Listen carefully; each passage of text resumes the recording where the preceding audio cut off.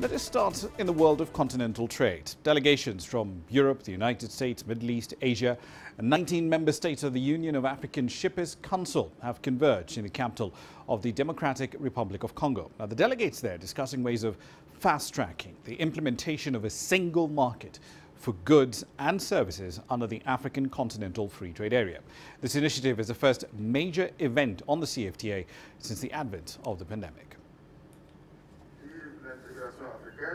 African leaders in the freight sector are in the DRC capital, Kinshasa, to hammer out details of a collaboration to enable them to boost trade on the continent. Their meeting is a follow up on an initiative that was signed by 44 African countries in 2018, known as the African Continental Free Trade Area. It's an ambitious trade agreement that seeks to create a market where goods and services will move freely. The DRC president Felix Tshisekedi believes the initiative will lift millions of Africans out of poverty.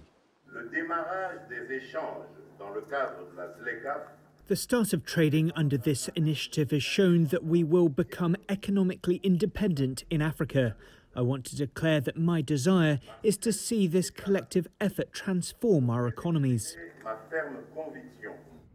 Africa is endowed with a lot of natural resources, but most of its exports are unprocessed. The leaders here hope to change that. When we are going uh, uh, to, to fight as a bloc, then we are strong. But if we are going individually, we, we will not be strong. And the sense of African free, uh, continental free trade area is that we need to be a bloc, a strong bloc of Africa.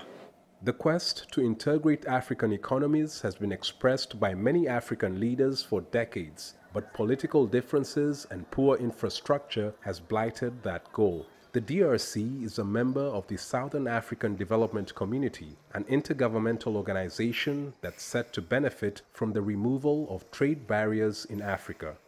I think that this agreement presents opportunities on both sides um, for DRC as well as for South Africa uh, for export of trade in goods, export of trade in services, for the establishment of linkages in regional value chains uh, to make sure that uh, we accelerate industrial development on both sides.